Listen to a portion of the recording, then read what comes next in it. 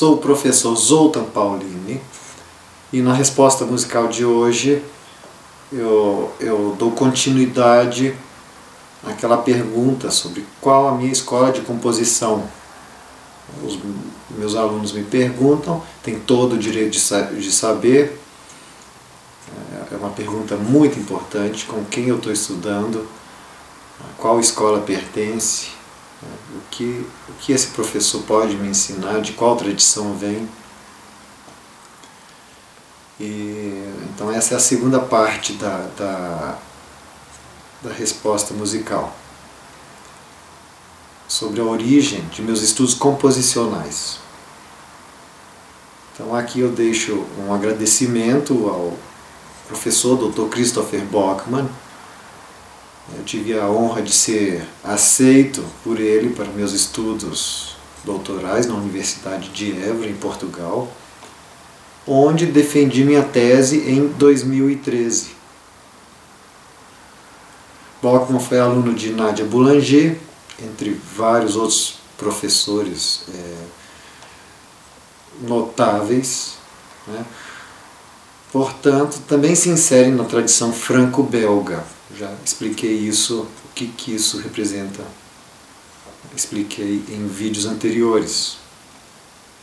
Mas Bockman ampliou sua expressão artística com dezenas de outros estudos.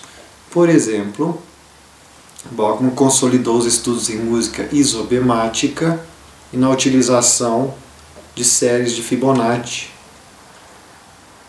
E eu encontrei uma, uma gravação bonita que gostaria de compartilhar, um, uma partezinha é, de uma obra chamada Movements para quarteto de saxofones.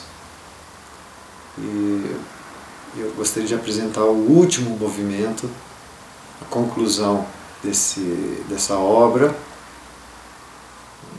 uma obra que ilustra bem essa técnica isobemática e a aplicação das proporções de Fibonacci, tanto na escolha eh, dos intervalos no contorno melódico, quanto no próprio ritmo.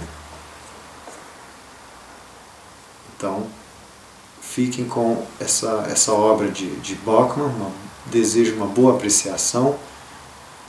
peço também que divulguem esse vídeo, essa resposta musical. É, peço que, que se inscrevam no fórum entenda.musicaerudita.com. A maioria das, das pessoas é, vai lá no canal YouTube assina, pode assinar, mas para participar, para enviar comentários, sugestões, é, perguntas. É, o, o modo mais organizado é esse fórum, uma mala direta. Então, inscreva-se, entenda.musicaerudita.com. Já resolvemos os problemas técnicos, as inscrições espero que tenham voltado a, a funcionar. Então, divulgue e participe.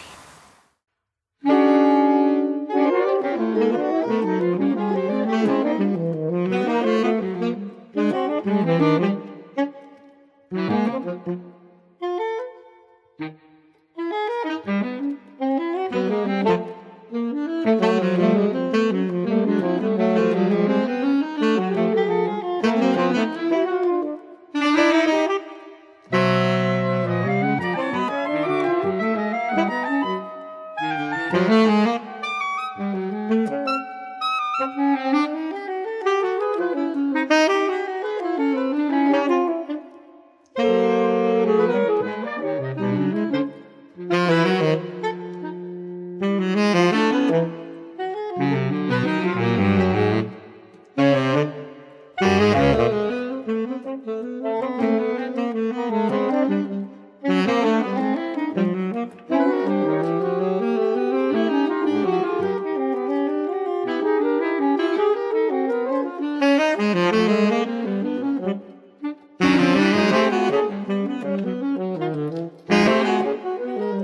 Mm-hmm.